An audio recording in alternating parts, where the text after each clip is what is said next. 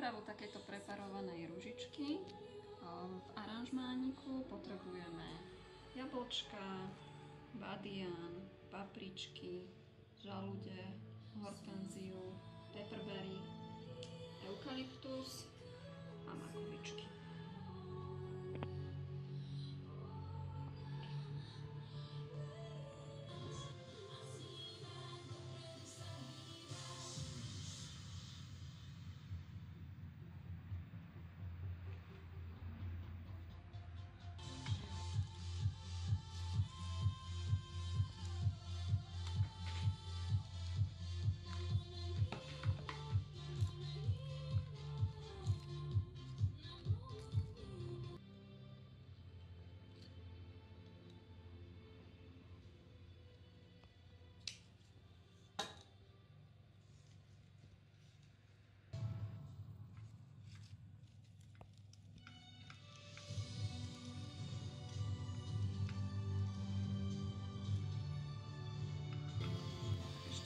much.